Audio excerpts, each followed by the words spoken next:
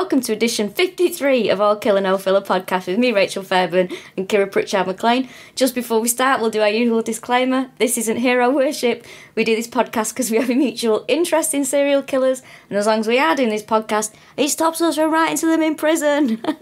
Yeah, why am I laughing? because we've been recording this podcast for half an hour and I've just realised it hasn't been recording. Um, so yeah, we're gonna fucking. and I'm what am I and I'm in a cracking mood today, so it doesn't. I'm just like whatever. Way. yeah, episode fifty three. We must apologise. It is a bit late, but we've been mega busy. In fact, we got up very early to record this today, didn't we? six thirty a.m. 6:30, coming from different sides of the country to meet in the greatest city on earth. Sorry if there's a bit. It's a shithole. So if there's a bit of background noise, it's because um, we're yeah we're in the London flat and uh, there's some train noise. So apologies for that. Atmosphere. I'm call it. absolutely fuming if you haven't already gathered that I have just wasted that much Ah. time of our lives. It's fine. It's fine. We'll we'll we'll crack on. So we were going to do the Kimberley killer. Yes. However, a couple of issues. One, there was hardly anything about his background apart from the fact that he was German and he used to be a security guard. Secondly, technically a spree. And you know what I'm like, a stickler for the rules. We've done a few. We've let a few sprees. We- we have, I'm not yeah. happy about it. But there was just a lack of information, so we, we didn't want to we didn't want to feel like we were putting something out that wasn't what's the word? Bumper. what? I don't know. Um You, she's waving a hand in the air above her head, and I don't know what that's meant to mean. Substantial. substantial. but you went That's for the- bumper. what? Are you a fucking child? bumper. Are you a sticker book, mate? I love the I love the word bumper. I love the word jumbo. I just don't think jumbo is used. Jumbo sausage, Oh my god, I fucking love a jumbo sausage. Jumbo marker. jumbo marker. Jumbo dib dab. Yeah, I just don't think it's used. Wait, know, sorry, not dib dab. Dabber. dabber, uh, jumbo jet, All the jumbos. all the jumbos. So who we Jumbo's cousin. jumbo. so who are we going to do? We're going to do Burke and Hare. which I absolutely love. I think it is uh, Scorcho as um, as serial killers go. I think it's fucking fascinating. And we did it when we were in America as well, and we did it in for one of the uh, Edinburgh. Edinburgh. So I mean, there's going to be a couple of well, quite a lot of you actually. Who've, I'd say about a thousand of you who've already heard about this. Um, But people have actually asked us to record it as well. yes, that's true. So something for everyone. Yes, and obviously we won't tell you all the showbiz gossip that we told you in the rooms when we did it live. Then we've got to stop doing that now. I think they're getting too. Sorry, big. who, who's got to stop doing that? You. You're an absolute cunt, you know that. You're an absolute dickhead. Hey, listen, words can't hurt me today. Alright, Christine Aguilera. What- I, sometimes, I, I, I, when I'm in a really good mood, there's no in between, is there? I'm either, uh, or I'm like, way. Yeah, I mean, you're diagnosing yourself. I'm, Right I am now. actually, I think I Yeah. am. See, the thing is, I'm I either really low or I'm really sort of manic and high. I, I wish there was a word for that. see, I, can, I can't win with my mum, you see, because she's like, you, you're constantly cynical. And then when I'm in a really good mood, she's like, you're unbearable. like, you just, there's no, you can't sort of pull you back. So you can't moderate. So it's it's not, it's like it's uh it's like glass overflowing or glass empty. Yeah. Not not half There's no- half empty. there's no sort of middle ground. but I'm so sure someone will fuck me off and it'll be ruined. Anyway, Anyway, Burke and Hare. Um, she's back. she, this takes place in the city of Edinburgh, where we go and um, lose thousands of pounds every August. Yep. Um, God, that system's rigged, but we don't have time for that. So yeah, it takes place in Edinburgh, and how the city has chosen to commemorate the pair of serial killers is they've named a strip club after um, the pair of them. It's called the Hare, and it's near the uh, grass market where a lot of this takes place. There's three um, strip bars that are close to each other in an area of town that is colloquially known as the Pubic Triangle, which I think is fucking top notch. Um, Lovely. Now, one of my favourite things to do is to go on the um, Google reviews of strip bars and swingers bars. Um, and the Burke and Hare has got some absolute belters. So these are all, I'm not even selecting, these are all just next to each other, right? Two stars, this is from Nathan. He says, lame, lame, cheap chicks in cheaper lingerie, except for one pro. No Charlie. All right, mate. Oh, Fucking hell. Nathan's a cunt. Yeah, he is, isn't he? Has he left his number on there? I might give him a ring. That sounds right on my Do you know what? He's reviewed loads of other stuff. Let me just have a quick quick look, click on Nathan and see what else he's reviewed. Um, uh, I mean, he yeah, he is literally just uh, brilliant. He's reviewed a Lidl. Yes, it's a Lidl. A bit more expensive than the Kirkgate branch, though. Scotmid will take a huge hit, in my opinion. Jesus fucking Christ. Oh my god! And then he said, "Oh my god, this guy's amazing." He's reviewed uh, somewhere in Edinburgh. Uh, hairdressers, time to retire. The guy does more talking about his past salons than cutting. Maybe he was good back in the day, but the hair got I got today was rank. Also, ten pound for a standard back and sides. Joke. I don't like this guy. He's an absolute. Has he got a picture of him? Oh my god. Used uh, this is about a barber. God, he constantly he's got no fucking loyalty. About eight of these are barbers. Used to be good. News guys and a new scab on my head. Was a regular, but now no more. I think Shame, it's the badness really. coming out of you, Nathan. Good God, brilliant textile. He's um, what? My phone. You've got a new phone. yeah. Ah, nice. Thanks. CEX. Top notch banter, this, isn't it? Yeah, absolutely. Sorry, but I'm really um, I I just I'm obsessed with this guy and what he's um. I think we should get Nathan on at the live shows. He's he's complained about a, a, hotel. Nice, too many coaches outside though. Fucking hell. oh, God. Doesn't like a, a crocodile cove in Australia, but that seems fair. What a nutter. Yeah, he is. The other reviews, He's though. so personal. Station manager on drugs. Overworked and understaffed city centre doctor's office. God, what is this? He fucking Did he have to go there because he had a scab on his head? Yeah. um, do you remember on the plane on the way to back from America? I was so tired and I was trying to do this crosswords on the thing. and the clue was someone who crosses a picket line and I wrote scum and you went, Do you mean scab? I was like, Yeah. Same thing, innit? yeah. I think I said that. I was like, same thing. So uh, so that was Nathan. Anyway, so James says, five stars for Burke and Hare. What a great experienced night. Now I think it's a typo, but it might also be a creepy reflection of um, the women and how capable they are. Um, okay, this is Nick Carter, not that one, but who knows. He gave it five stars, two line um, review, which starts with this best place I've ever been. Strong start. Ever? Second line. Why is that, Nick? Let you touch them. Oh. Stop being a creep, Nick. um, and then this is my favourite one. This is by Peter L. Deegan. Um, which reminds me of when Will got introduced on stage as uh, Philip Duggan. That was after spending the entire day with the guy that introduced him, Really? So. Yeah. uh, so your friend of the show, Will Duggan, was like, "Ladies and gentlemen, please welcome to the stage, Philip Dugan." No, do you know who I think that was? Is I think that was yeah, he spent the entire day with him. Mind you, this is a Will is a story. touch of the pin- Duggins of that. salt, yeah. Do you all know what Duggan? Have we told them what Dugganing is?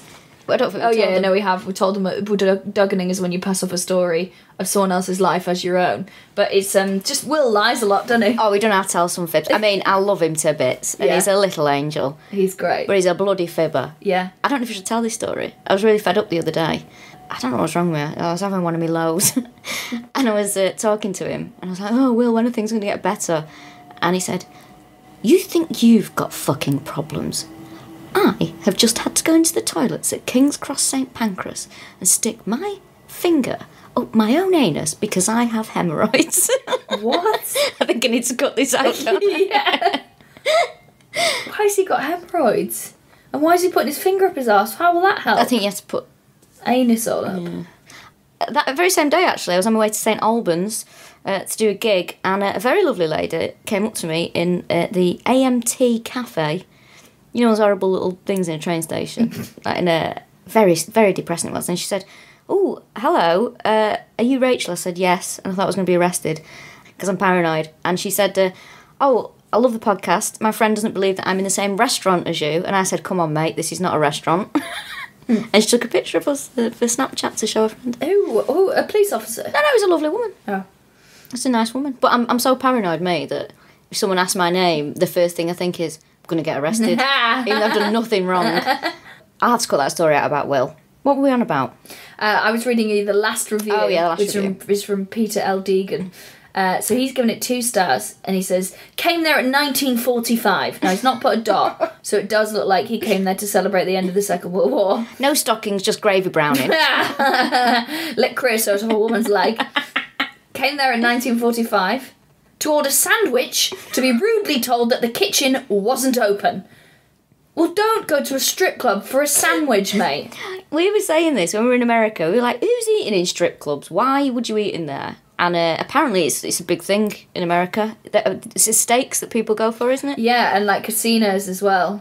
So that was us with egg on our faces. Let me tell you. Yeah, apparently loads of people like, oh, this place does the best like loaded fries. I saw a um, advert when I was going to Las Vegas. I might have mentioned this before. When I was going to Las Vegas a few years ago with my favourite ex boyfriend, and uh, there was a big billboard as you went in to Las Vegas, and it said it had a fork with a bit of steak on it.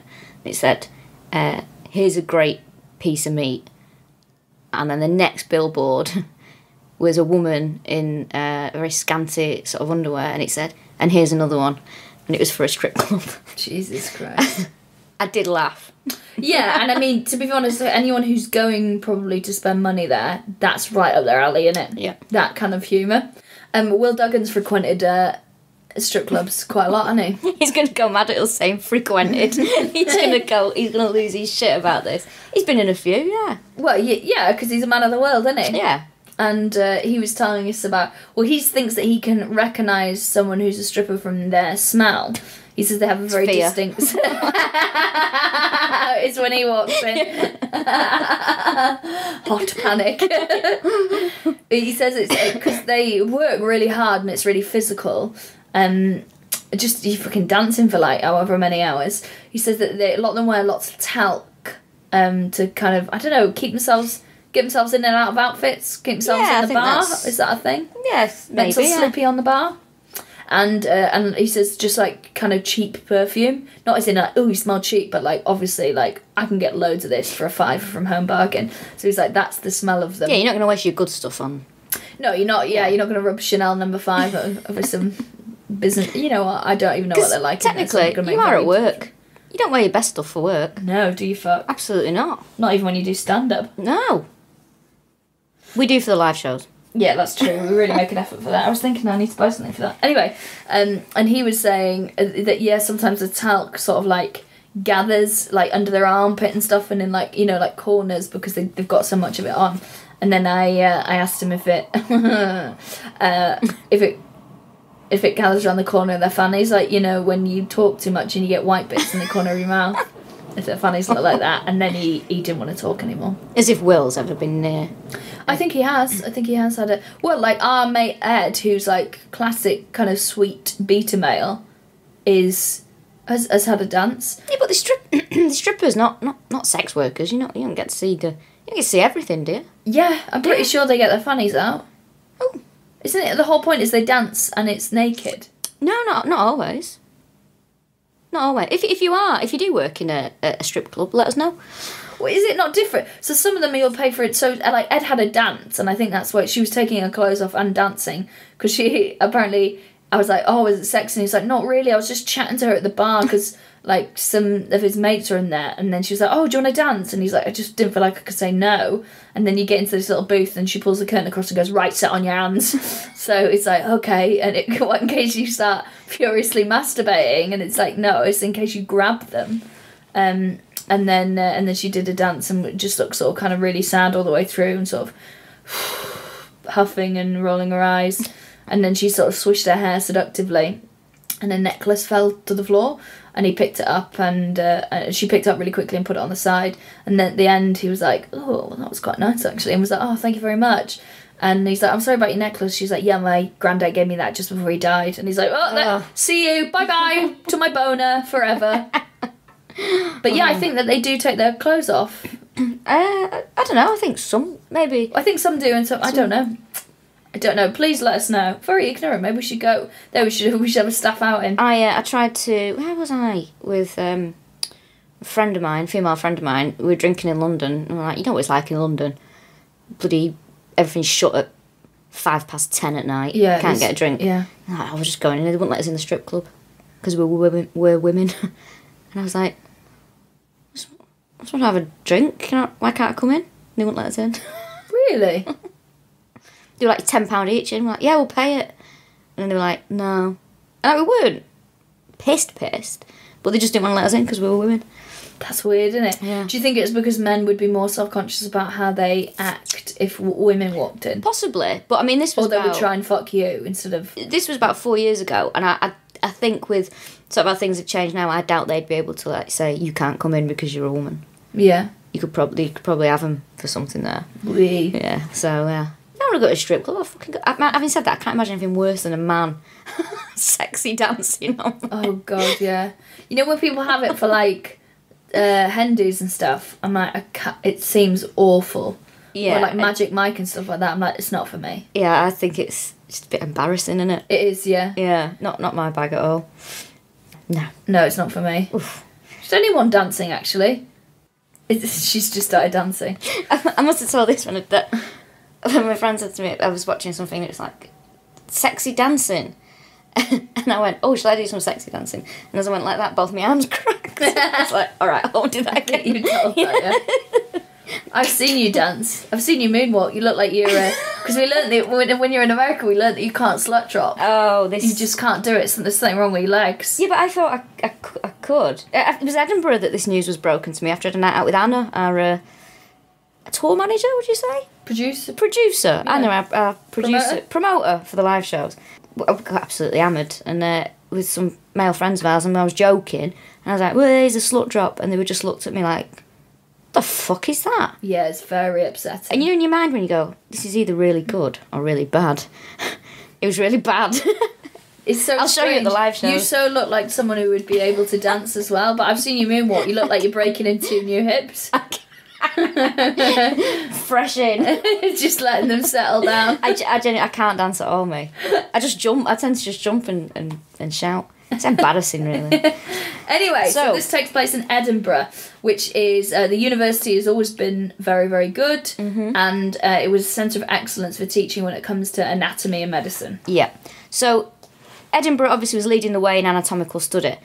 Now they operated to the Paris method, didn't they? Which Yeah. meant one corpse per student. One cadaver per student. One cadaver per student. because I think it's different. So, like, I think my friend did um, human anatomy and cell biology in the University of Liverpool, and in the first year at least, you shared the body. It was like eight of you. I think maybe by the end you got your own one, but it was common to share stuff. And I think even between groups, or well, all I know is that they were one day dissecting. They were doing the lungs, and so they cut them open and.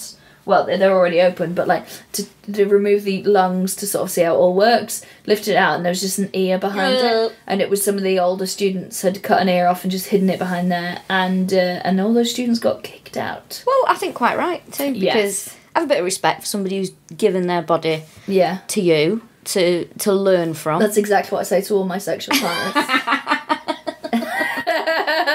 Do you want to learn from this body or what?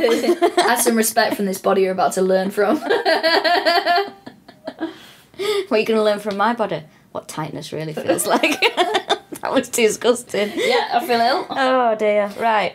So, So, yeah, these these uh, bodies would come. Uh, basically, that they were people who'd been executed.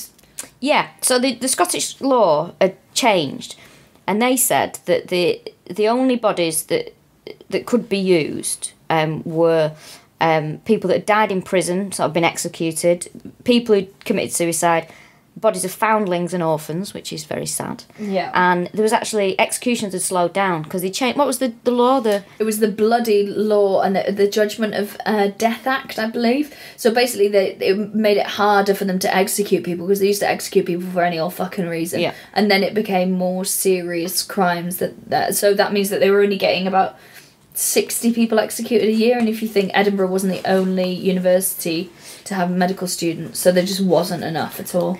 This led to an increase in grave robbing and gangs of resurrection men. Sounds cool, doesn't it? Fucking cool. I think that. I, I'd go out with a resurrection man. I bet, I bet they'd stink.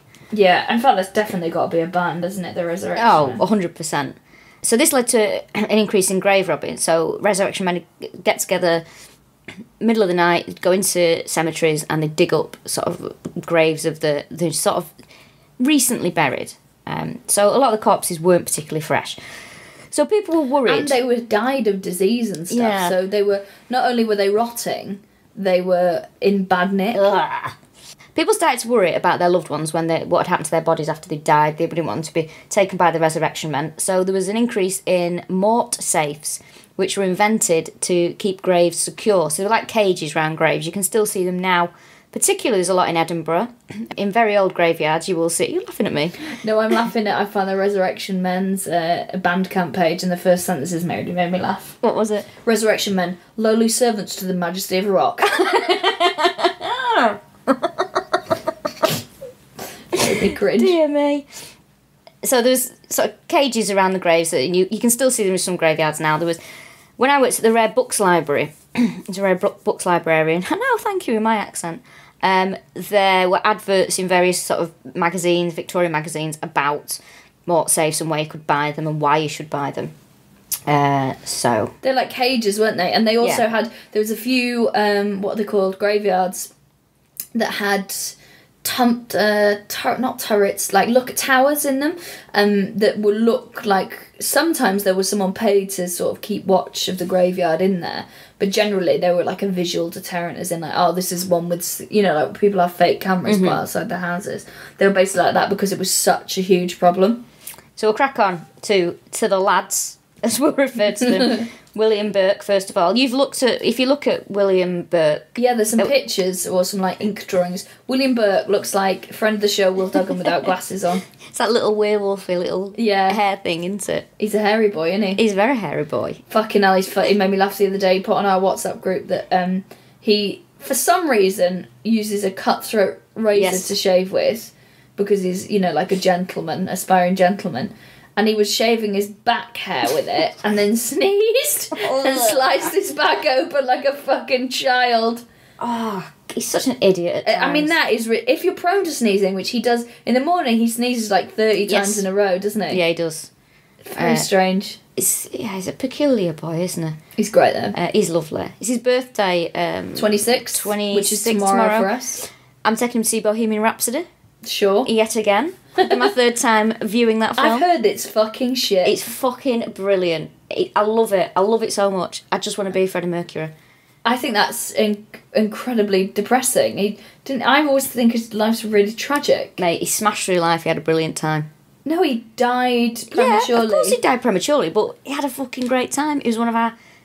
I mean, possibly. I've one, seen his teeth. He was definitely bullied in school. Possi- yeah, of course he was bullied. no wonder he played the piano. But he had a brilliant time. Like he put to me, possibly our greatest rock star. I agree. He Yeah. definitely is hands down. But he's not ours, is he? He's from Zanzibar. He's, he's also like one of the most high-profile Asian men that's ever eh, been. What I love as well is it's like I love how it should teach people this is a very British thing. Our greatest rock star was actually from Zanzibar. Yeah. So you know, Immigrants, they get the job done. to quote uh, Hamilton. I love the film though. Like, take it for what it is. Just watch it for what it is. It's so good.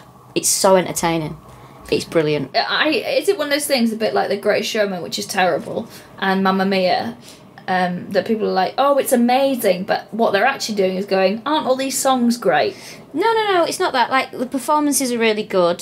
Some of it's really funny. There's a couple of plot holes, but forget about them. The costumes are amazing. Yeah.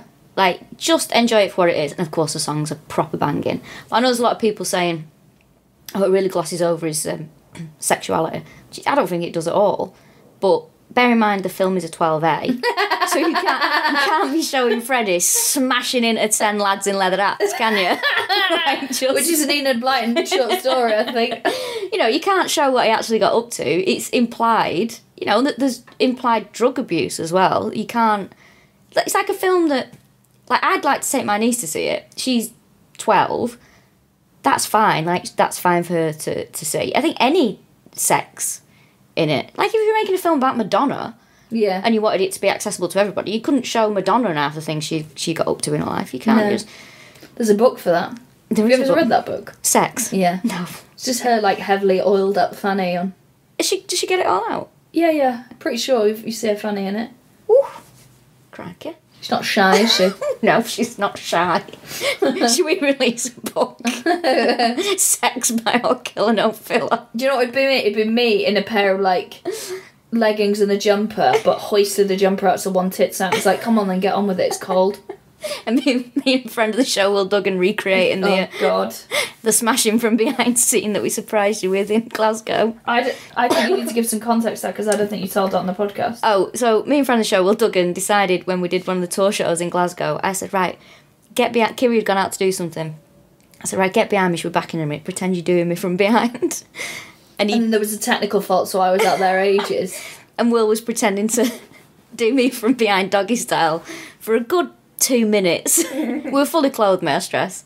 And uh, Will just went, can't keep doing this much longer, Rachel. Can't keep doing this. I was like, it's already been really funny when she comes in. and then when, And then when I came in, I mean, I it was the saddest scene I've ever seen. Honestly, like both of you were avoiding eye contact and looking incredibly sad. It was horrible. It was like some weird, like off-book psychology test from the 1970s where they make twins do it. when you came in, you went, I thought you made that noise. It was awful. Was just You just looked really like sad. like a Jack Russell that had been told off. Yeah. Oh, God. anyway, oh my god, we need to talk about. So, William Burke. Let's Yeah. start with him. He he was born in 1792 in Urney, County Tyrone in Ireland. He was from quite a middle class family. Um, he had two, obviously had two parents. He had uh, a brother called Constantine, which is a great name. Had a very comfortable upbringing. Uh, both him and Constantine were in the army as teenagers, and they served in something called the Donegal Militia. It sounds like shit rappers. Donegal Militia. oh yeah, it does sound like a rap group, doesn't it? I've got a. I can't stand. Um, like so, there's a rapper in Manchester called Bugzy Malone. I saw his advert in Euston the other day. I think he's massively famous. He's huge. He's got huge, but I just can't get on board with it. But you know, because when something's local to you, it feels shit. It's like so. You know, like we have loads of friends who are on TV. When you see someone you know on telly, don't you think it cheapens it? You go, no, I so and so on the fucking telly. really. Yeah, what are they doing in this? No, I don't think it. I think it's nice. Cheapens it. I don't know. I think yeah, it's great to see it, but you feel. I think I get that thing of like that's weird. That's Yeah, I find it hard to watch. I think it like- depends what it is. Yeah, that's true. But like, I mean things like particularly If it was like, who do you think you are? I'd be like, get them off. Yeah, Get someone proper on. like things like that, but not not like things within comedy. Yeah. But when you see someone you know pop up in something like, for example, I've got an old friend called Sam, who's an actor, and I went to the cinema to watch The Wolfman, Right. and he was in it. I was like, is he fucking doing in this? He's ruined this now. I can't. thanks for pretending. Yeah, he's ruined everything now. so that kind of thing. There's just something about his Bugzy Malone.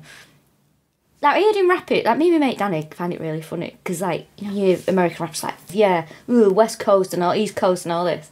He's always like, yeah, 0161, I got the bus down Bury New Road. I'm having problems with the DVLA. they took my car away. I'm like, mate, it's shit. it's just crap. I just don't, there's just something about it that I don't, I can't get on board with because it's too local to me. But won't that But good luck sound really exotic to people in America? I don't know, would it? He's from near me, Bugzy Malone. He's from near us. We're Rapping about Market. It's Thursday, it's the flea market day. Bought one shoe. I was round the back of Asda. it's fucking crap. It's rubbish. Bugzy Malone. I also don't like his name, Bugzy Malone. Pick something a bit more. Well, that isn't a famous Yeah, that isn't a, gangster. a thing already. Like, I mean, I hope he's not listening to this. I don't think this is his thing. um, I don't know. What would your uh, rapping? I, I think if I was a rapper, We've I'd, come up with our rap names, haven't we? I'd have. Um, I'd call myself Petite Ice. and I'd be Little Tights Snatch. I would, I'm getting that on a t-shirt, You're gonna get. definitely. Lil Tight Snatch, L-I-L apostrophe. Oh yeah, you gotta have the apostrophe in there. Yeah. because it'd be Yeah, like, just not like an Lil yeah, or someone's auntie. Lil Tight Snatch. Here she is, Lil Tight Snatch. so he got he got married. Drunk herself to death at 42. It's me in it. So as you get you get married. Sorry, I'm still laughing. It sounds like someone's auntie. He got married. It didn't last very long. It was a very common problem that we all have. He had an argument with his father-in-law over land ownership, and he deserted his wife and his family. He had two children. He moved to Scotland. William Burke did. That's who we still are To work as a labourer on the Union Canal now, the Union Canal was a huge project, and you can read about it, as I tried to, but it's utterly fucking boring, and it has no place in this podcast. But there was a, basically there was a huge influx of sort of immigration, wasn't there? Yeah. Because they needed so many workers to make the Union Canal happen. Yeah. Now, he lived in a place, he moved to Maddiston, which is near Falkirk, and he met a woman called Helen McDougall while he was working on the Union Canal. He had the little nickname for her. He used to call her Nellie. I think that's cute. Nice, isn't it? Yeah, we asked people if there were any um, nicknames in the in the audience, and Oh. we would ask that. And there were two gay guys on, on the New York date who were great. They were Um, great, yeah. And uh, he was like, I call my partner Sugar Cookie. And Sugar Cookie was clearly fucked off that he told everyone. And we were like, what do you call him? And he was like, fuckface. it's great. I uh, I used to call my favourite ex boyfriend. We never called each other by our first names. We used to call our, we used to call each other pencil all the time. I think that's very cute. Because once I was speaking to him on Skype and he was drunk because he was in America and I wasn't, and I was getting ready to go to work and I said, "What's wrong with you? You look really pensive." And he went, "Yeah, you're a pencil." And uh, it just stuck, and that's what we used to call each other in public as well. People like these two are weird. I think it's really nice. it's cute, isn't it? Yeah, I don't have anything like that. Oh well, my partner and I call each other what pig is our like term of endearment, and in my phone he's just saved as the pig emoji, which is actually quite hard to find him in a, fur- a hurry if you're trying to search for something. Uh, Will Duggan and I, friend of the show, Will Duggan, we call each other. I call him uh, Honeybee, and he calls me Queen Bee. That's very cute. That's quite nice, isn't it? yeah, that's really nice. There's nothing in it. We'll see, mate. No, We'll see. no. If you get some wasting disease, he'll be the one who takes care of you. He's going to have to. I mean, it's not the same for me. He can just go back to his parents. So when the canal was finished, uh, he moved to a place called Tanner's Close, which is still there in Edinburgh. It's- Just off the Royal Mile, if you're familiar with the um, geography of Edinburgh. This was in 1827. He had different jobs. He, he sold second-hand clothes to poor locals. It was a vintage shop, basically. he was a cobbler, of which he was quite successful. He earned upwards of a pound a week doing that. He was described as industrious, good-humoured, and he often entertained his clients by singing and dancing on their doorstep. Which sounds like a fucking legitimate nightmare. if someone was like, hey, that Irish cobbler who sings and dances on your doorstep, I'd be like, go and fetch the fucking hose. Well, you know how I feel about singing and dancing. Lush. That's all I've got to say Uh, to you. I went into, who um, I was on the phone to Rachel. We don't normally talk to each other on the phone. No, we do don't, we don't, we don't. It's constant WhatsApps. And, um, and uh, she was like, hold on, I'm just going to nip into Lush. So we're chatting. And then she was like, hiya, you know, as they could say hello as you walk in. And then so she walks in and uh, and then she goes, "Oh fuck this fucking shit!"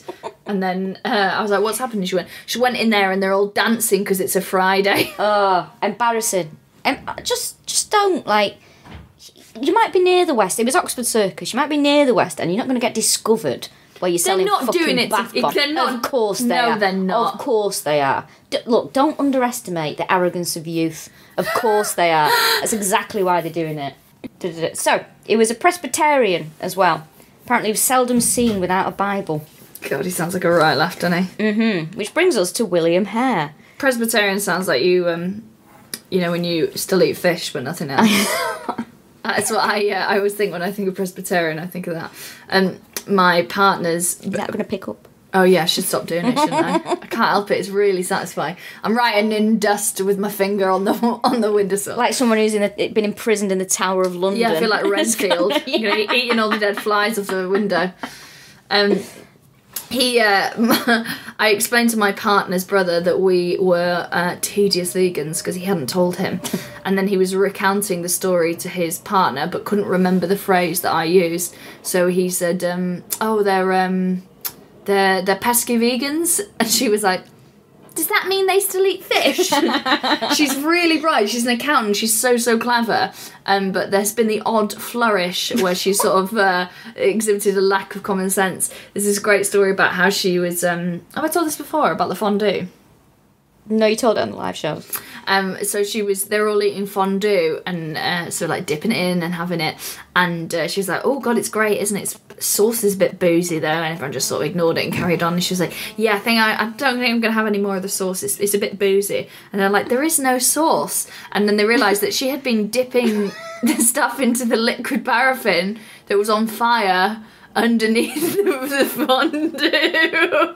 Good God. Oh, a bit boozy. Oh, Yeah, I should think so, mate. It's fucking dinosaurs.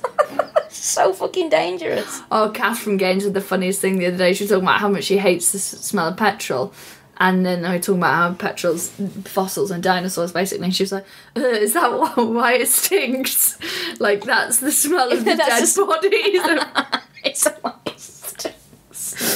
oh, made me laugh. Oh god. Right, William Hare. Oh shit, yeah. He was probably a bit vague. This he was probably born in County Armagh or County Londonderry or Newry in Northern Ireland.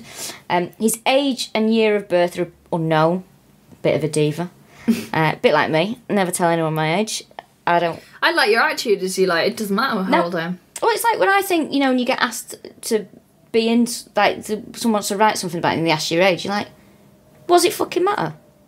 There's no reason to put Rachel Fairburn, however old. Da da da.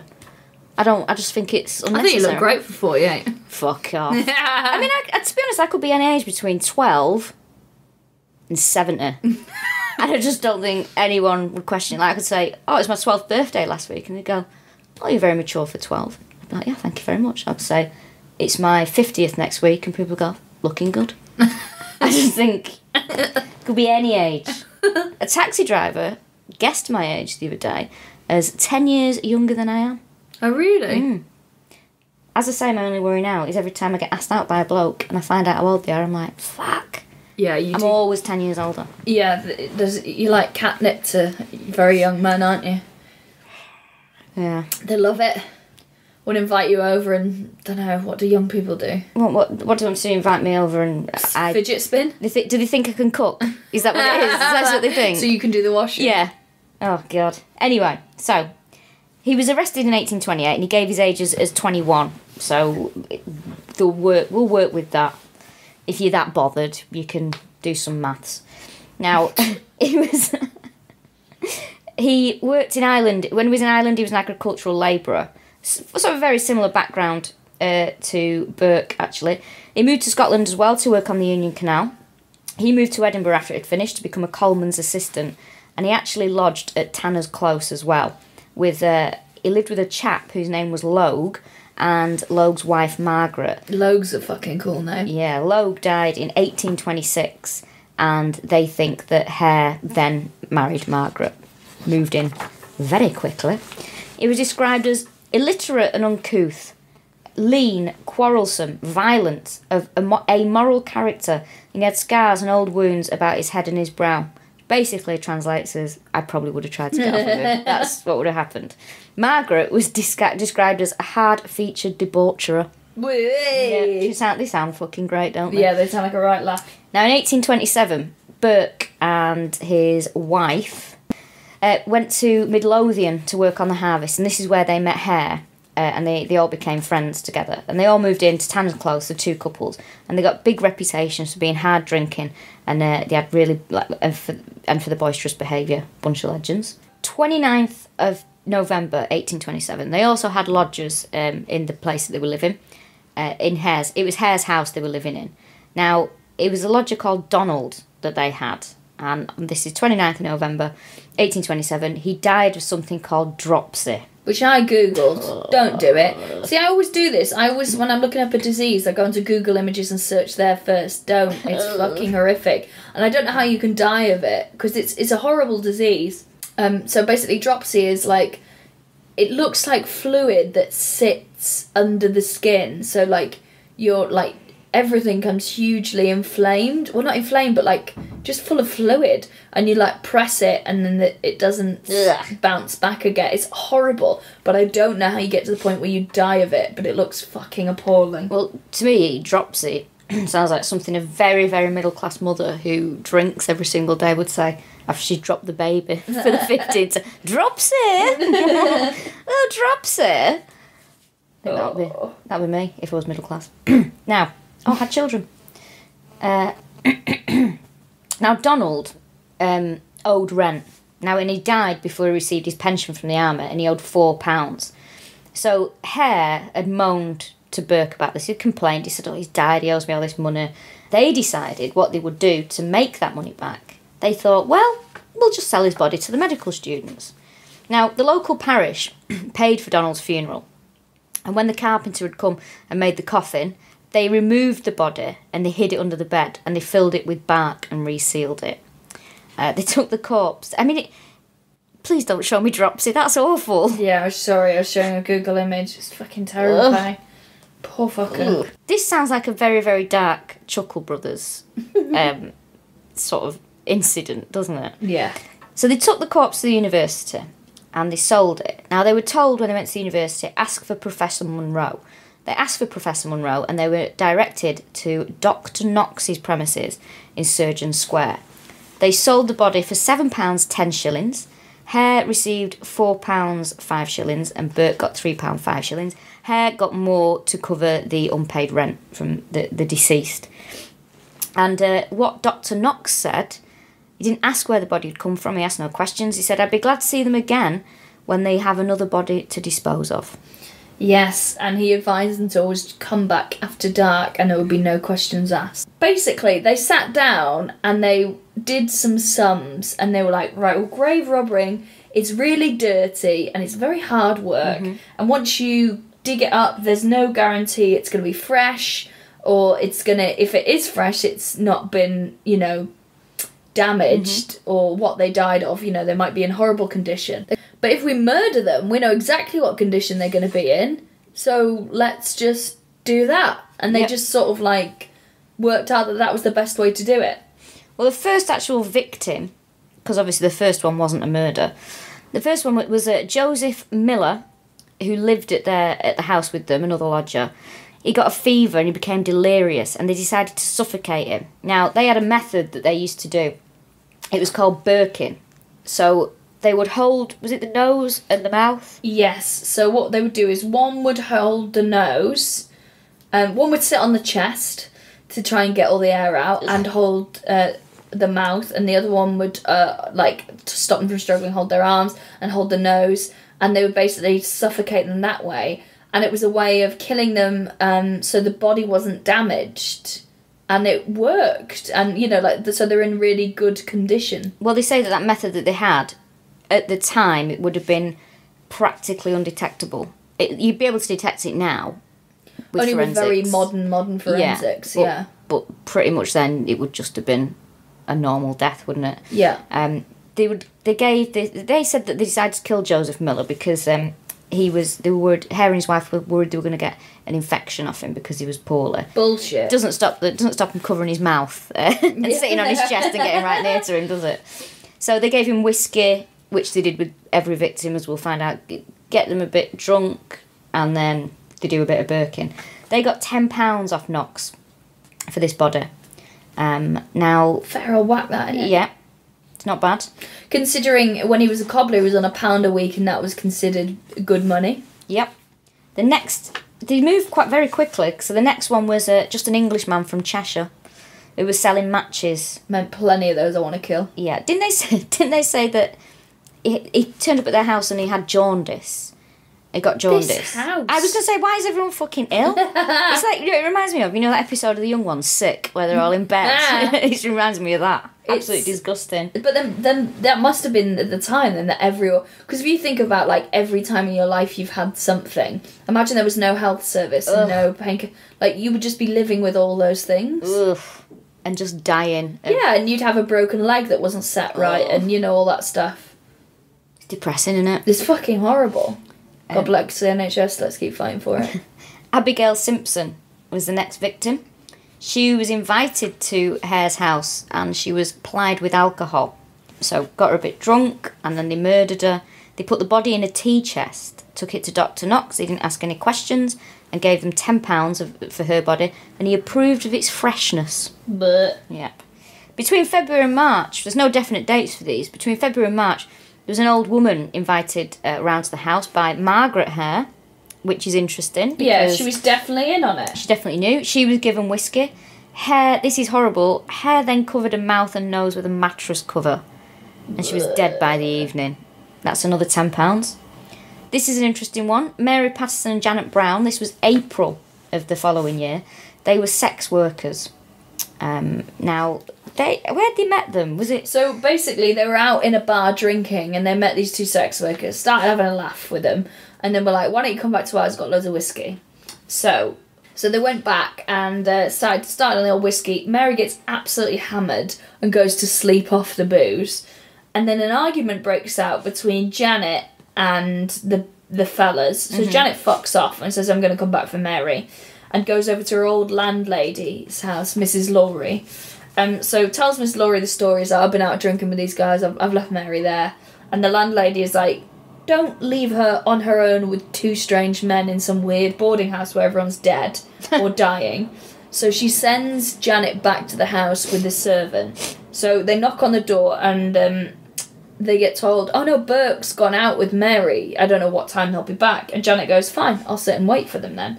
So she sits there and waits for a bit, and then she tells the servant and Miss Laurie, "Go back and tell Miss Laurie what's going on." So the servant goes back and goes, "Oh, Miss Laurie, she's waiting for Mary to come back. She's out with Burke at the moment. She told me to come back." Miss Laurie's like, "What the fuck? Did you leave her on her own?" And then this poor servant is sent back again. Oh, you'd just be like, fuck off. Yeah, you? and haven't even got my pedometer with me today. so sends her back, gets Janet, tells her to leave. Now, what they found out later on is that Mary was already dead when Janet came back and knocked on the door. They'd already booked her, mm-hmm. um, and was in in the house basically. Well, they take the body to Dr. Knox and they say, oh, she drank herself to death. And this is where it's quite interesting because one of the assistants, when he saw her body, he was like, hang on a minute, I recognise this woman. Wasn't she still warm as well? Yes, she was still warm. Um, and he said, oh, I recognise this woman. Interesting. Yeah. And uh, he said, they said, oh, we just bought her off an old woman in Canongate. She's not a potato. She's a fucking woman. Wow, how would you how would you buy? That makes me shudder as well because when you think of Canongate, is that down where Cow- Cowsgate as well? yeah, yeah, that's the which where is the, where all the free fringes. So Yeah. like late night sketch comedy or like improv troupe or like one woman show about breaking down in the desert. Oh God, the amount of shows I have to avoid every year at Edinburgh because someone starts speaking to me in a bar and then they relentlessly go, "Can you come watch my show?" Or I don't know why people do that. can I say, if you choose to come watch my show, fine, I appreciate it. If you're an, another act, thank you very much. Thank you for your support. Don't fucking expect me to come watch yours. Well, I just don't like. Yeah. I also, I just know how busy everyone is up there, and like the weird thing to be like, come and see my show. But like, why? What do you think's gonna happen off the back of Yeah. that? But I guess they're just desperate for people in the room. They just hope that you're going to tweet about it. Oh, I mean, it's gross. something good, yeah. Of course, I'll tweet about it, but I just don't like being. I don't like being railroaded into something. Yeah. Do you know what I mean? I like to Yeah. be. Yeah, leave me alone. Basically, is what I'm saying. So it was interesting that these students were like, I recognise this sex worker. And they were like, where from? They're like, oh, I can't remember. Actually, now you've said it. Um, so the next few victims, they were Well, like, well, I must, we must say as well. Knox apparently was delighted oh, uh, yeah. with this body, and as if he gave them eight pounds, and as we say, she was still warm. He stored it in whiskey for three months and then dissected her. That's weird, isn't it? Yeah, and Also, how cheap's fucking whiskey? that's a lot of whiskey. Everyone's knocking it back up, keeping a woman in it. Everyone. Every, absolutely, every, it was practically tradition. um, now, I think it was Hare, Burke Hare's wife actually kept Mary Patterson's skirt and petticoat as well, That's out of order. so she knew. She Doing a Rose West. categorically knew. And the interesting part, you'll notice that they get paid different amounts for the bodies, even though he's like, oh, she's great, I'm going to keep her in whiskey. And it's because it was depending on what time of the year it is. And so basically, if it was winter, I think they'd get more mm-hmm. because they could use the body for longer because it was colder. Because basically, you'd keep using it until it got too decomposed to dissect, which is fucking rum. So yeah, if it was warmer, they couldn't use them for as long as so they got less for them. Well, didn't um, someone came back to try and find her, didn't they? Yes. Um, this lady came back. Who was it? Was it her friend? One of her friends. Yeah, one of her friends came back to try and find her, and she was told that she'd left for Glasgow with a travelling salesman, which is uh, I love it. yeah, interesting. That's what I now say when I'm on the rag. I am leaving for Glasgow with a travelling salesman. For about five days. so don't even bother trying to talk to me. Now, the next victim, Mrs. Haldane, who was described as a stout old woman. Now, it just shows this poor woman has been dead for over a hundred years and she's still being body shamed. Disgusting. Yep, she lodged with them and she Rumours that she was a sex worker as well. Mm-hmm. she'd got drunk. They'd given given a drink and she fell asleep in the, the stable. Legend. She was smothered and she was sold to Knox, as as is standard, as we learn. Now, some months later, her daughter Peggy went to try and find her mum. Yes. She managed to track her down, like that. She'd asked people if they'd seen her, and that was the last place she was seen. She went to see them, and what happens? They kill Peggy as well. It's awful. Yeah, it's horrible. It's getting all a bit too close to home, though, isn't it?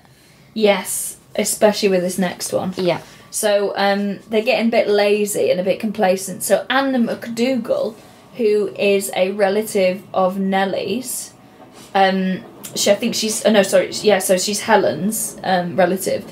They murder her. Now Burke, who's kind of related to this woman, is happy to kill her, but he said I'm I I don't want to actually do it. Like we can sell her, but I don't want to do it. So Hare murders her on his own. But like that's so close to home. I mean, yeah, like you say, literally. Yeah. But they just they just don't give a shit by this time. They're getting away with so many of them. But they're trying to pick these from now on. They're like, let's try and pick people that people don't recognise, um, and they fuck up massively with the Yeah. next one. There was a lady called Effie who was a cinder gatherer, which is like the most Victorian job in the world, isn't Yeah. it? I think I'd be a match girl, you know. Do you? Yeah, you know, like little match girl, I'd be found frozen to death outside a train station or something. Oh, I think I'd be a big titted sex worker. Yeah, absolutely. I'd be like one of the only fat fat Victorians you'd see. I've got the. I wouldn't have the luxury of being able to be big titted.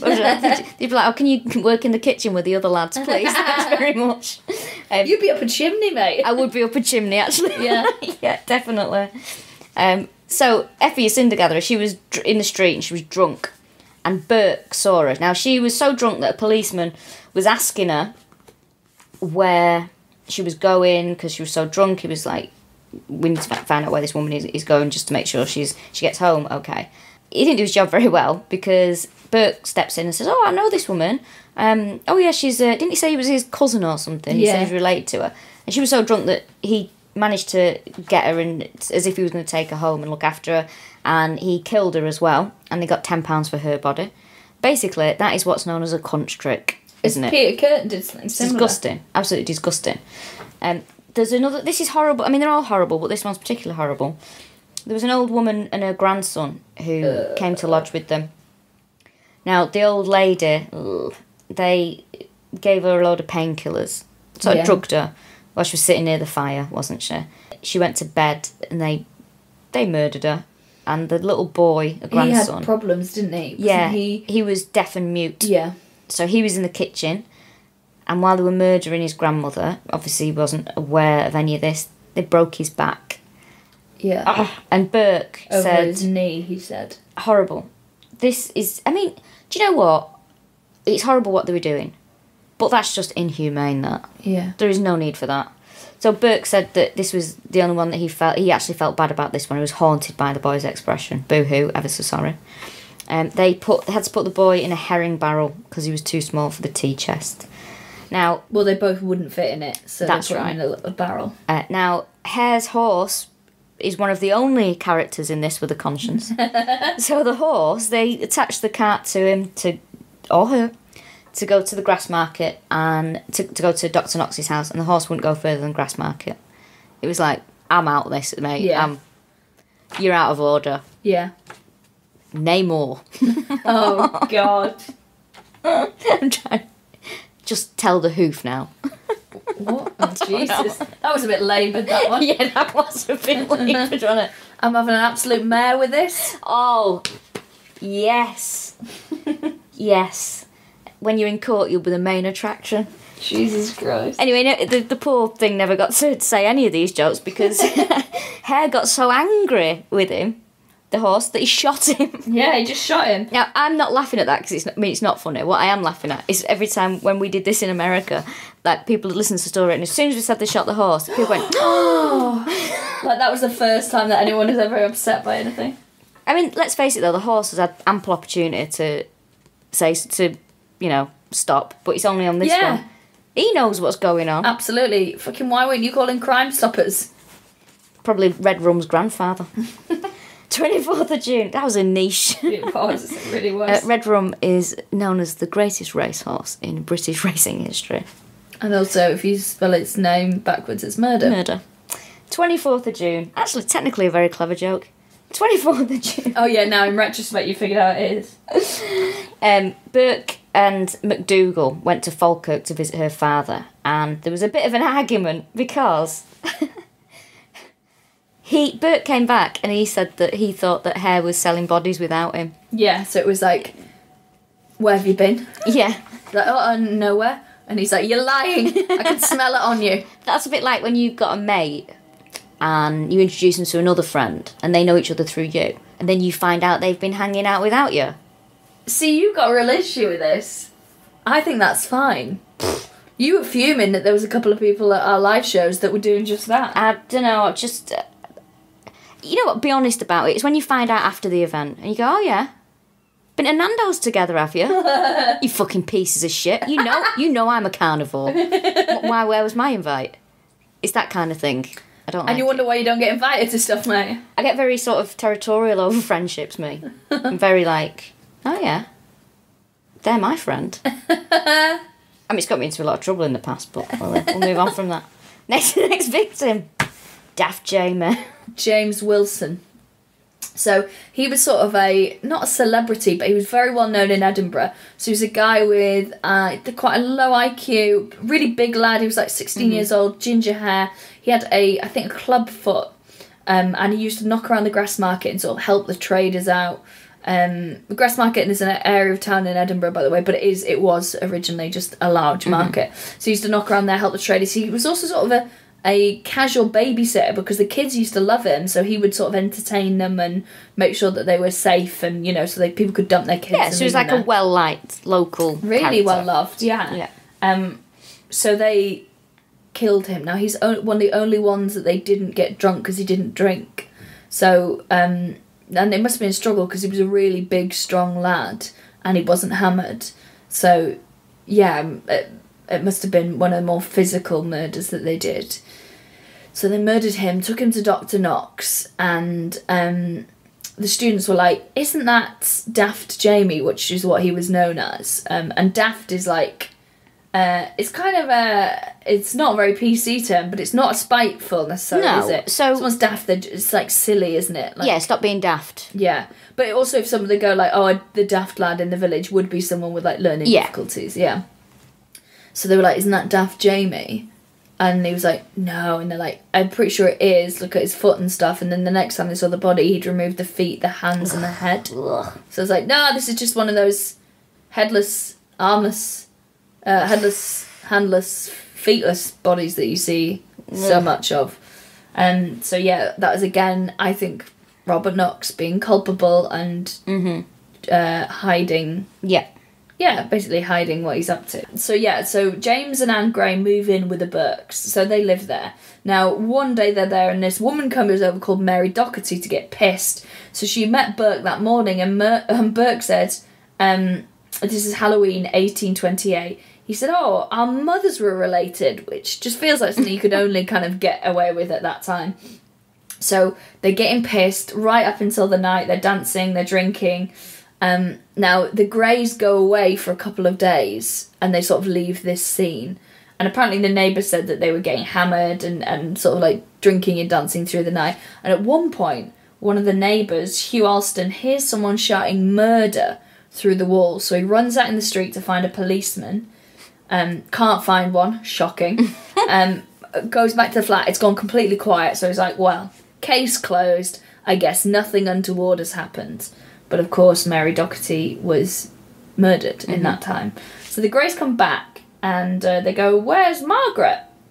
And uh, Mary says, Oh, she came on to Burke, so we had to kick her out because she was uh, she was coming on to. Oh yeah, it was the woman's fault, isn't it? Eh? Yeah. So they say all that, and they're like, "God, wow, good, good job, she's gone." Now, what they don't know is that Ma- Margaret's body is stored underneath the spare bed Ugh. under a load of straw. So um, Anne's stockings are drying in the spare room, so she's like, "I'm just gonna go grab my st- stockings," and uh, Mary's like, "No, you fucking not." No, you're not going in there. And she's like, Why can't I go in the spare room? She's like, No reason, you just definitely can't go on. She's like, Why's she being so defensive? We're having a clear out. Yeah, so not Mary, sorry, so this is Helen. So then Helen leaves later that night to go out and get something, and as soon as she leaves, they obviously go into the spare room and they obviously find the body. Now, hmm. they go to the police, and on the way, they bump into Helen and goes, We found that fucking body, you've been murdering people. And she's like, Listen, I will pay you £10 a week not to say anything to anyone. And thankfully, they don't take it because Fair they play definitely would have been murdered. Yeah. Uh, But that's a lot of Well, fucking money. They'd either have been murdered or ended up hanged. Yeah. So either way, it wasn't going to work out very well for them. no. And also, ten pounds a week. That means that they would just carried on and carried on and carried on, wouldn't they? Absolutely. And there's but- absolutely no way Burke or Hare would let them, would let her, her pay them that. no, no, no. They would have murdered. Yeah. Um. So they refused, and they went to the police. So in that meantime, Helen fucking runs home. Um. The police go over to the house. Margaret's body's gone. It's gone. So Burke and Helen are questioned separately. They have completely different stories. Now, at the same time, the police get an anonymous tip off about Dr. Robert Knox and people turning up that people recognise in his mm-hmm. lab. Is that what you call it? Surgery. Surgery? Yeah. So they go up to the university and they find Mary Doherty and James Wilson in there. So they find the bodies of Mary Doherty, who's just been murdered, and what is left of Jamie Wilson. So Hare's arrested. Um, now Burke blames Hare, says I didn't know any of this was going on. I had no idea. I know I lived with him, we were friends, but I had no idea. So a month goes by and they can't move anything forward because no one's testifying against anyone. They're all sort of lying and covering their backs. There's also a thing in the law that you couldn't uh, you couldn't force someone to testify against your husband or wife. Right. Yeah. Um, so uh, a month goes by and the police go, right, we need to fucking do something. So they offer her immunity to testify against Burke. So Burke is charged with Mary Doherty, James Wilson, and Mary Patterson's murders based on evidence found in uh, Robert Knox's place and bits around the house. Um, now they don't fuck around with this. Oh no. They had, the trial is on Christmas Eve of Ugh. 1828. As Imagine if, that. As if you've not got enough to do. Yeah. Imagine all the peeling you'd have to do when you get home. After trying to hold that down when you've just listened to this trial. Both of the Hares testify against the Burkes. I know. Scandal there. And uh, and then Christmas morning, again, they fucking carry on with it. It takes the jury 50 minutes um, to decide. Of course it is. They want to get home and fucking watch Sound of Music to find Burke guilty. Now Helen is let free after a while, and he 16 months before he's hanged, he confesses to everything, which is why we know so much about the crimes. Well, Hare actually was put away for a bit, but he was released in February 1829, wasn't it? Yes. So he did a little bit of time for it, but not as much as he should have done. But what happens is when he got released, there's fucking mob rule. Yep. So he gets found and battered. The rumor is he's thrown into a lime pit, which makes him go blind. Yeah. And he is uh, was last. Uh, well, he was seen in Carlisle, and also there was a rumor that was the blind beggar in London um, that was him. Mm-hmm. Helen couldn't escape either, could she? No, she eventually she was sort of harangued by people and moved to Australia eventually. Uh, Margaret, she went back to Ireland because they were both just mobbed wherever they went. Yeah. Um, now, obviously they hanged Burke, but he, he didn't just stop there. They sort of made a bit of an example of him. They used his skin to do a bit of anthropodermic bibliopegy, which is where you use human skin to cover books. Uh, so very popular during the French Revolution. Uh, the library that I used to work at, there was several books that were leather bound, and some of them probably would have been uh, human skin, but you weren't you weren't allowed to know which ones. So, because he didn't want to make it a thing, you know, Right. for because people are weird. Yeah, people are weird. Says us. and uh, Thanks for listening. Thank you. Yeah. now they also made a car- a business card case in his skin. they his skeleton is still on display in Edinburgh Medical School, and you can see the book and the card holder, Surgeons Surgeons, Hall. Hall. in Edinburgh as well. Yeah, there's loads of stuff you can see. Who did his autopsy when he died? Oh, strap in, Dr. Knox, who gets away with everything. pretty much. Yeah, he gets disfellowed, doesn't he? So he's a fellow of the So university. he's- that's all that was that happened to him because in 1856 he was working uh, in the pathological um, section of Brompton uh, Cancer Hospital, yeah. and he was last practicing at Hackney Medical Practice, and he died in 1862.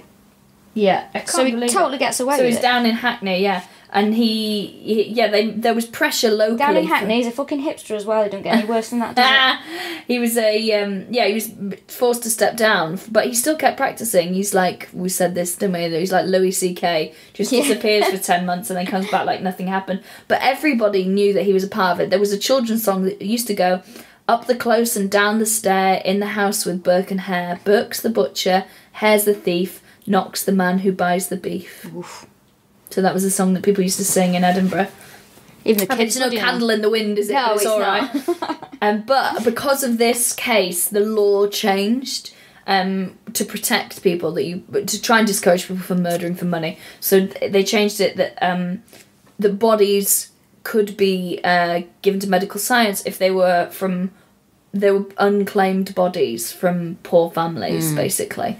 Um, and well, they were unclaimed bodies, which meant that it was almost always poor people that wouldn't come forward and collect them because they couldn't afford to bury them.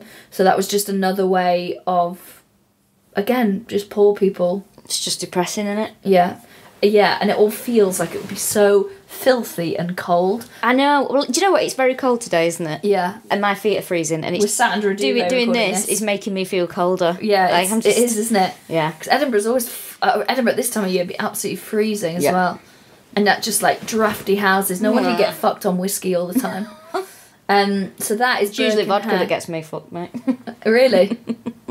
Are you a vodka person? no, I was doing a sex joke. Uh, I do actually drink. To be honest with you, I'll drink any spirit.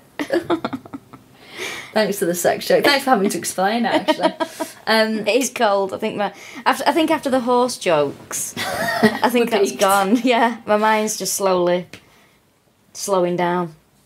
thanks so much for listening. Yeah, we really you. appreciate it. Uh, we're very excited to see you guys at the Christmas shows Mm-hmm. next couple of weeks. Um, don't forget to bring sanitary products.